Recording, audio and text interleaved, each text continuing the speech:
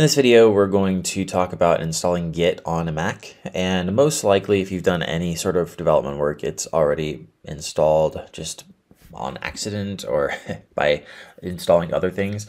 So if you type in git install, it will take you to this, like in a search browser, search engine. You should get this SCM, git SCM book, this 1.5 getting started. We'll talk about installing. So installing the Xcode command line tools apparently is one way to install Git. And then apparently you can also just run git hyphen hyphen version, which will install it. So I'm going to try to run that. Otherwise, I think it's already installed in my system. So git hyphen hyphen version, I think it was. So if I hit enter, okay, so I've already got git and that means that I did it, I got Git by installing command Xcode command line tools. So in this next section, I'm going to show you how to install Xcode command line tools. I'm going to go to my browser and type in https colon slash slash developer.apple.com slash downloads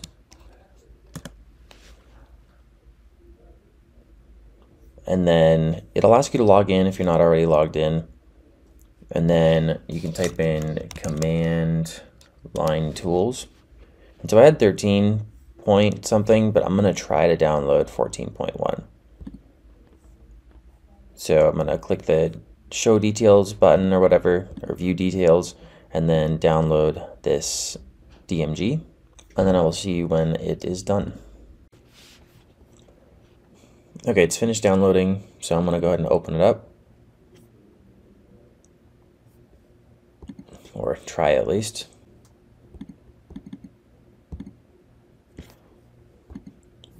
I'm going to go to the downloads folder. Okay, and then I'm just going to double click this DMG, double click the PKG, and then go through the steps. Okay, I'm gonna have to upgrade Mac. I'll be back. Okay, I have upload or upgraded Mac, so let's try again.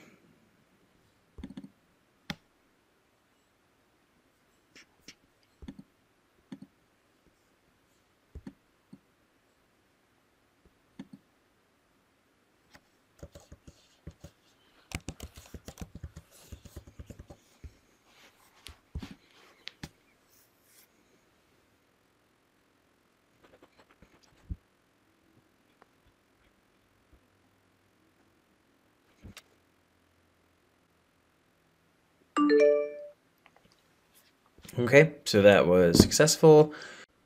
Once you have Xcode command line tools installed, you we can continue on this page and there's a little bit more information on like what to do. So if we go to the next page, we can do the first time git setup. And so I actually don't remember what all that said, but it's not terribly important. You can you should probably read it. No, I don't know. The this git config identity thing is what we want to type in. So git config hyphen hyphen global user dot name.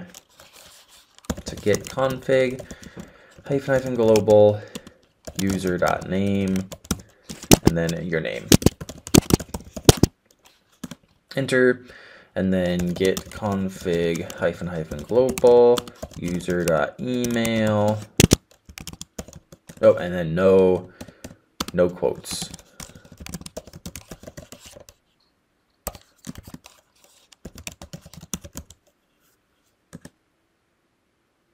Okay, and then we have to figure out how to do the core editor. I believe it uses VI or Vim by default which many people, well, Vim is awesome, but many people don't like it. They, I mean, I've been a VS Code editor for a while, so I'm to set that one up just for fun. Okay, since I'm not sure how to do that, or I wasn't positive, I did a Google search and I found this Stack Overflow post that we're going to try. And so this part I already did in another video, but I'll show you how to do it again. So if we're trying to set VS Code as the default editor, we need to do the whole install code in the path thing, which is provided by, by Visual Studio Code, so it makes it super easy. I don't know why 2 opened, but Command Shift P, and then if you type in shell, there should be this shell command install code command in path, and that'll allow you to type in code into the terminal to open it. So that will set that up, and then we can install it as a default editor. So once we have that done, you, you would hit enter. I didn't because I already did, and it's already in the path. So shell command install code, and then after that, run the commands on the terminal for config get with new editor. So global core.editor code hyphen hyphen wait. And that's because code is the command that opens up Visual Studio Code. So anyway, we'll do git config hyphen hyphen global core.editor code hyphen hyphen wait. Okay, and then git config hyphen hyphen global hyphen e. And I honestly don't know what that does. I'm running into an interesting problem where I added the code command to the path via the VS Code utility, but it's still not recognized, as we can see with this error that says code command not found. And this is just a guess, but I think the problem was that when VS Code initially downloaded, it went to the downloads folder, which I'm pretty sure is in the users directory. And I may have added the code command to the path before moving VS Code to the proper applications folder. And somehow that may have messed up the permissions. And the solution for me was uninstalling or removing the code command from the path and then re-adding it back to the path. And that's again using the VS Code little tool things that they, they made for us. The way that I was able to get it to work was just uninstalling it from the path and then reinstalling it to the path. So if you type in Command Shift P and do shell command uninstall, and if you don't see it, you can just type it in, shell command uninstall code from path, and then you install it back into the path. So you can do that and then you should be able to open up the app. So let me give it a try. So code dot, and it does work. So now I just gotta make sure that it works permanently. So I, I'll have to check where the path is, but let's let's try to run this these commands again. So git config hyphen hyphen global core dot editor code hyphen hyphen wait and then git config hyphen hyphen global hyphen e. Okay, sweet. So I think we can just save this, Command S. That's the git config for, I think it's for this user so this should work. And now we just need to make sure that that command stays in our path. This code dot, or this code command stays in the path. So I'm gonna restart the computer and do a little research on where, um, where the code, the code application is actually installed, and I'll be back in a second. Okay, so I don't actually know if I was able to restart the computer or not. I like hit restart and then it went down and then I just pushed a button and it turned back on. So I, I don't know, but the, the the main most important thing is to make sure that the the path to the code command is in the is actually in the path. And so I think I remember something about like user local bin and so we actually see that here so user local bin so let me just see if there's the code command in here so I'm gonna do a new shell, a new tab. I'm to choose ocean.